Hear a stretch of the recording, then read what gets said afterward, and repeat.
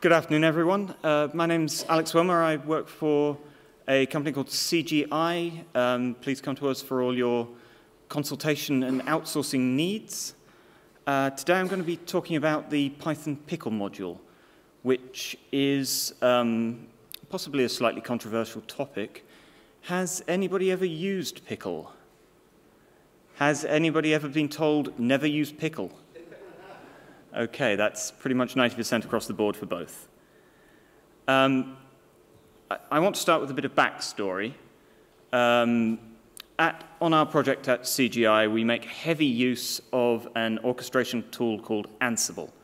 And Ansible is very nice if you're doing DevOps because you can write um, roles and playbooks and they will configure your servers into some deterministic, idempotent state and they will do it across multiple environments. So uh, you might have a dev, you might have a dev environment on laptops. You might have um, another test environment in the cloud on uh, Amazon, for instance, and a third one that you're deploying to, and we can use reuse the same playbooks. So it's very nice, um, and uh, we use this heavily. The problem is, because we use this heavily, our Ansible roles and playbooks got heavy. We have them running lots of tasks, we have them communicating with lots of servers, doing lots of steps, um, and a lot of stuff that's in loops, and it has got, it got slow. Um, every round trip to a server was costing us milliseconds, and when you have hundreds or thousands of round trips, those milliseconds add up. Um, thankfully, um, about a uh, just shy of a year ago, a new project appeared on the um, scene called Mitogen. And it has within it a, a provider for Ansible that can uh, speed up your Ansible connections greatly. And there are testimonials from people who've used it. It's, my playbook's gone from one and a half hours to three minutes. It's that dramatic. Um, so great, Ansible is fast again. Um, there are a couple of caveats that we had to, uh, that we're having to overcome. So if you use Mitogen just on its own, no Ansible, this is the sort of thing you'll see. Um, you'll, in Python, set up a chain of hosts that you're connecting through until eventually you hit the, hit the box that you want to run something on, and uh, Mitogen will uh, behind the scenes, tunnel all your connections. Doesn't matter if you're using Docker or SSH or um, some other odd thing that um, only you use, uh, it will do the tunneling for you. And unlike Ansible, it will do all the tunneling without having to write things to disk at each stage. Um, in this example, uh, uh we're ultimately calling os.system with uh, a random Python script. Equally, that um, os.system call could have been any other Python function call. It could have been a, a standard lib module. It could have been a third-party module. Mitogen would have set things up so that when Python on the other end tries to import that module, Mitogen will be there ready and have provided it. So you don't need to install Mitogen or your third-party modules on the boxes that you want to run this code on. Essentially, Mitogen is a zero-install remote procedure call system.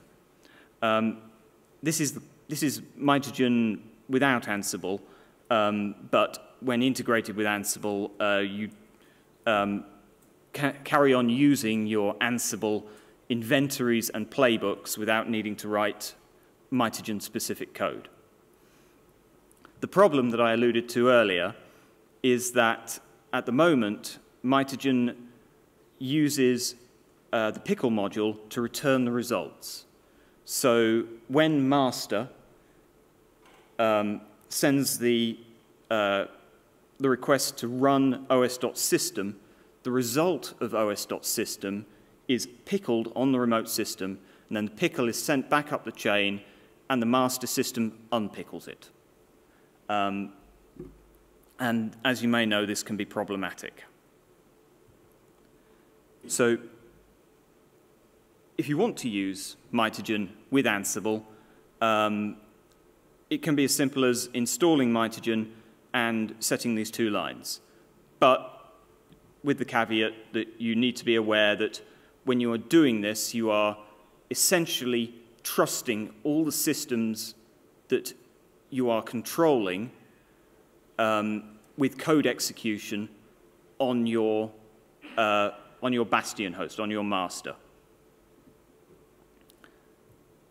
Um, the benefits of running Ansible with Mitogen are, can be quite dramatic. This is a, a fairly artificial, a, a slightly artificial benchmark, but we see vanilla Ansible in the red, in the red line, taking a total of about a minute and about four and a half megs of traffic to run a task 100 times on a remote host. The same things doing it with Mitogen 90 kilobytes, 8 seconds. This is, this is our goal. This is why we want to use Mitogen for this. Um, but uh, we, would, we would ideally do it without having the trust issues of potentially giving all our remote machines code execution on the box that we are running Ansible and Mitogen from. So for anybody not already familiar with Pickle, um, it's a built-in standard, it's a, a, it's a library built into the standard library, uh, import Pickle, and then uh, has a very simple pair of dump S and load S uh, functions. Um, you provide dump S with an almost arbitrary um, Python data structure or type or user class if, you, if that user class has um, the support, and you get out a byte string. You can send that byte string over a socket, you can write it to a file, you can write it to a, a queue or to a cache or to Celery. Um, and when you load on the other, when you retrieve it and load it again, you get back um, almost exactly what you put in. Um, Pickle has the advantages that it works everywhere Python does. It preserves types that the likes of uh, JSON and YAML don't. For instance, tuples go in, tuples go out, date times go in, date times come out. So it makes it very convenient, very tempting to use Pickle for remote procedure called systems such as this. Um, it also handles uh, recursion as a bonus. We're not specifically using that, but um, it's something nice to have. And the serializations are quite compact. Um, typically, a pickle of some nested dictionary will be less than half or maybe a quarter of the size of the equivalent JSON. However, I want to reiterate the standard advice. Don't use pickle it is by default dangerous. If you unpickle data from an untrusted source, you risk blowing your foot off at the hip. Um, this is the standard advice. It's included in the um, Python documentation. It has been reiterated by various blog posts, various white papers that you will find around the internet um, an example of how easy, how trivial it is to get um, remote code execution through pickle, through unpickling, is in fact, li I've lifted this straight from the standard library. What's happening here is somebody has sent us a pickle which contains a call to os.system, and in this case, it's echoing hello world. But it could equally have executed rm-rf. And if you're running as root, you've lost everything. Otherwise, it could have posted your, your SSH keys or your top secret formula for Coca-Cola or um, finger-licking good chicken to um, your adversaries and goodbye your business. Um, just to give a quick example of this, um, my colleague Rick has sent us, sent me a pickle to try. Uh, let's let's load Rick's pickle.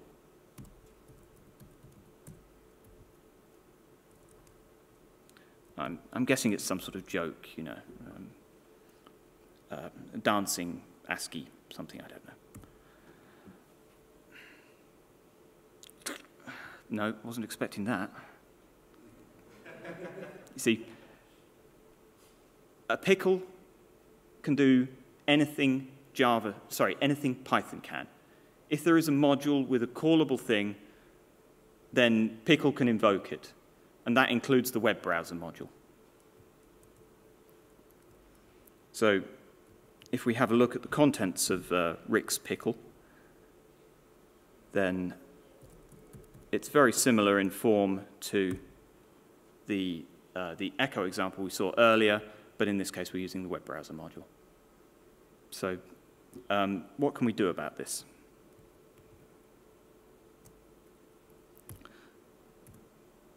The standard mitigation is to subclass the unpickler um, class. We create a whitelist of Python built-ins, Python functions that we are willing to allow Pickle to invoke, and we only let um, things on those white lists be invoked when we unpickle. Uh, this works um, to an extent.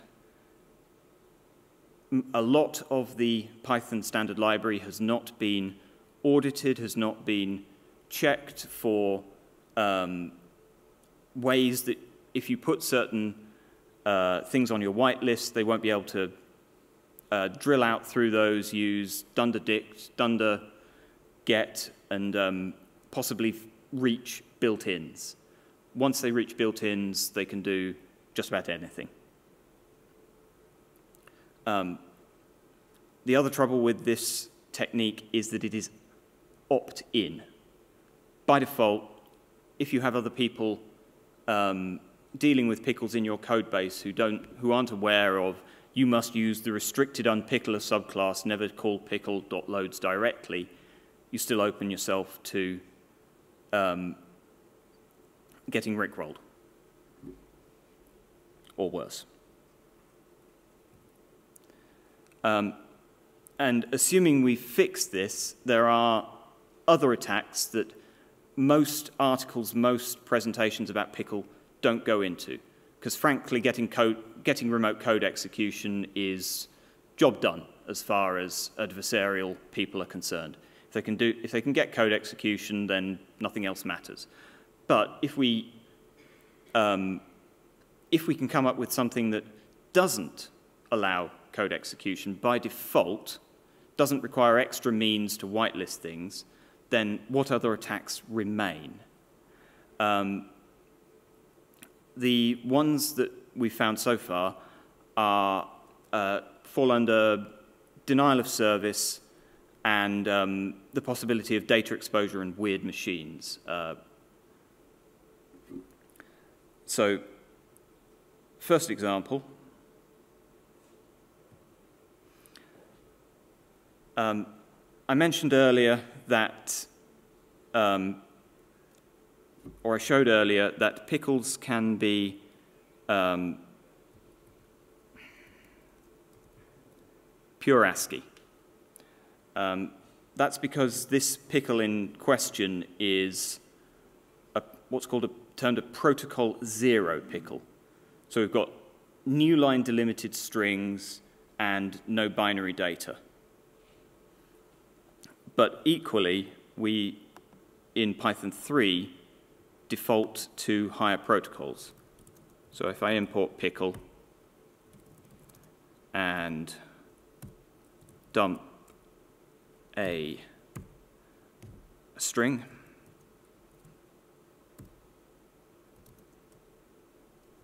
it will default on Python 3 to protocol 3, which is a binary protocol the string you see there is length prefixed. uh, that makes it much faster to unpickle with this protocol. And the protocol that you use is determined when you create the pickle, not when you unpickle. So if I want to be backward compatible with Python 2.2, because who doesn't?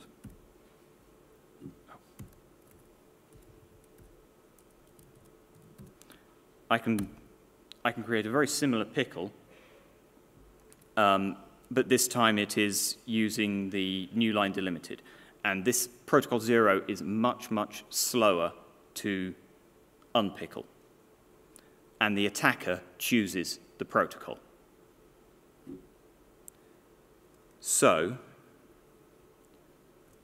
uh, benchmarking this, we see that the worst case is unpickling integers. If your attacker wants to send you a one megabyte pickle that's just a very, very, very large int, it'll take you the better part of 10 seconds to unpickle that at protocol zero. At protocol one, it's quite a bit better. It'll take you under a millisecond to unpickle this. So we would like to be able to um, just not allow protocol zero because um, uh, protocol one or protocol two is what supports the binary encoding and that will get us all the way back to certainly Python 2.7. Um, Python 2.4, I believe, also supports it. Um,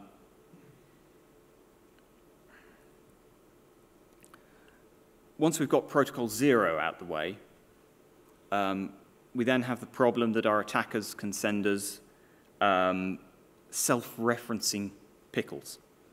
This is a, a very small payload, similar to a zip bomb, if, you're, if anyone has come across those, that just repeats the same element again and again and again and again and again, but by referencing it. And by referencing references of references of references, we can make a very small payload that expands to an extremely large object in memory or on disk. Now, Pickle, Pickle handles this surprisingly well.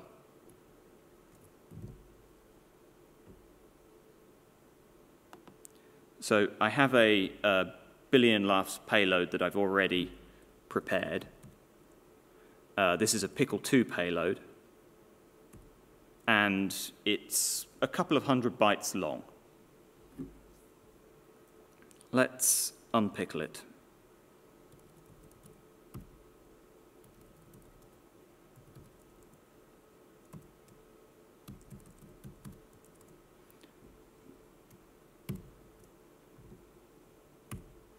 That was easy. the problem comes um, when you try and send this on. If you're uh, um, if you want to log this to disk or um, you've got a, another system that accepts JSON and you try and encode this to JSON, the problem will be that as soon as you try and serialize the result in anything that doesn't support self-reference, then, um, well, I've just locked up BPython. Um, the problem there is that BPython is trying to syntax highlight the output, and the output is, I can't remember if it's several tens of megabytes or hundreds of megabytes in size. Um, we can't just consider ourselves when we are um, using these. Um, so a further mitigation you may want to do if you are having to um, deal with untrusted pickles is to uh, find some way to remove self-reference, although there are possibly use cases where you would want to keep it. Um, excuse me one second while I kill this.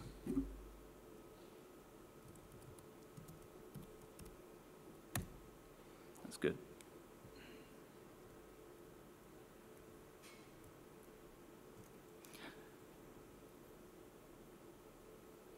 So, what else can we uh,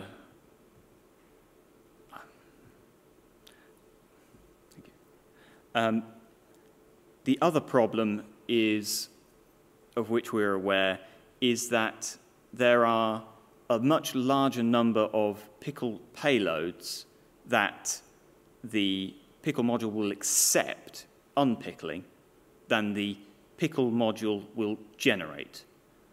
Um, so our attackers don't have the uh, restriction that they need to uh, restrict themselves to what the pickle module will output. They can, um, they can handcraft pickles, and in fact, that's how the os.system example and the uh, web browser example were generated earlier. Um, we need to be able to test our thing, whatever it ends up being, against um, handcrafted and also uh, randomly generated pickles in order to try and prevent um, effects that were never thought of when the pickle module was coded. Um, to that extent, we've been trying to fuzz test the pickle module um, with uh, limited success so far, but um, we'll be re-looking at that in the future. Um,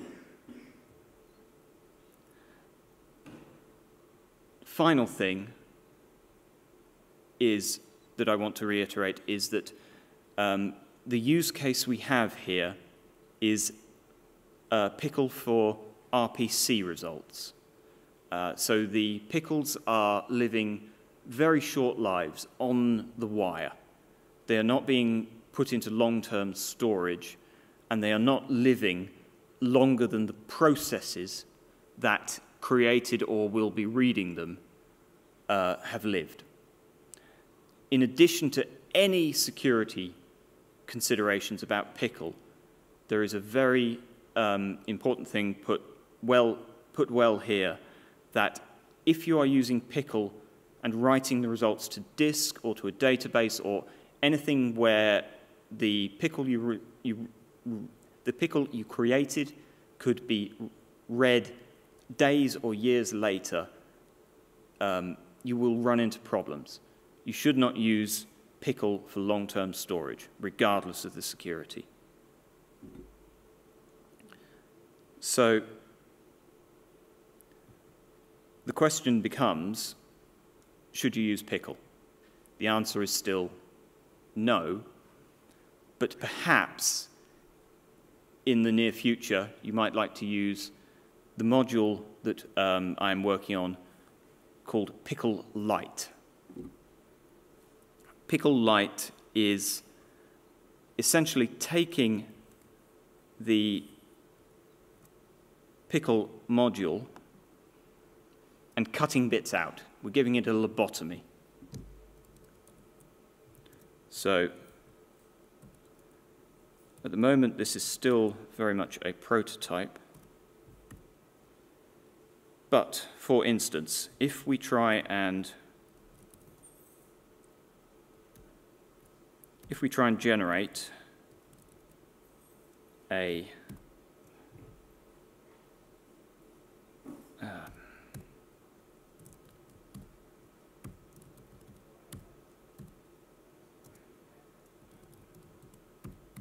try and generate a protocol zero pickle, which might be a vector for um, denial of service attacks, denied. Oh, wait.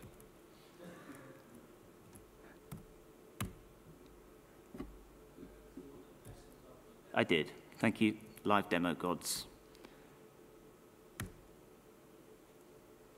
So any attempt to create or to uh, load a protocol zero pickle, such as, wrong window.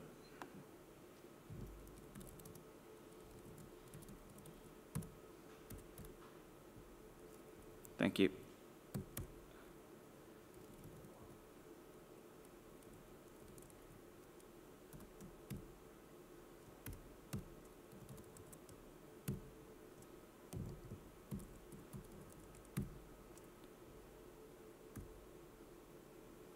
Any attempt to load a protocol zero pickle fails.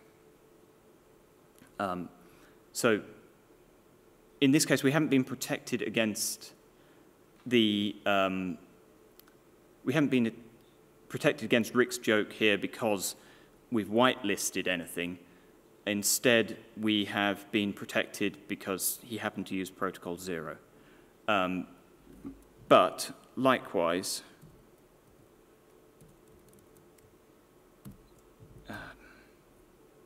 if we try and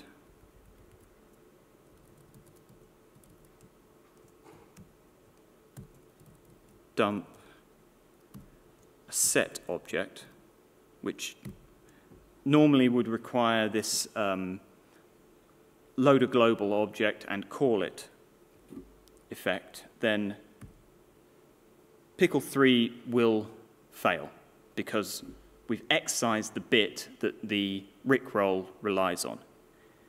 Instead, we need at the moment to use a very little used feature of Pickle-Lite, sorry, of Pickle, where we register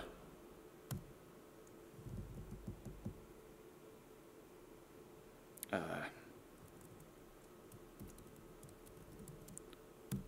extensions.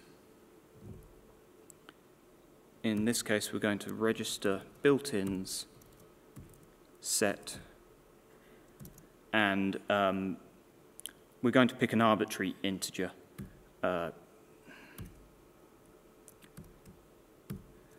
that one might be in a reserved range, I don't remember, but um, no one is using these at the moment, and we can choose better ones later. What that has now done is allow us to dump um, dump and loads objects that we have explicitly whitelisted, and we have had to explicitly whitelist them. This means that there's no, um, there is no opt out of arbitrary code execution. There is only opt in to selected objects.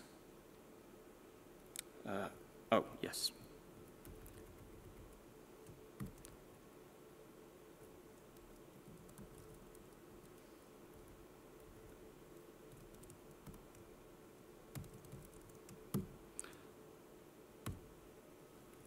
Okay. Definitely too much live coding in this. Damn it. Anyone spot any typos? Thank you. There we go. So we have managed to round trip an object that is not natively supported by Pickle without opening the door to arbitrary code execution. Um, thank you very much for your time, everybody. Um,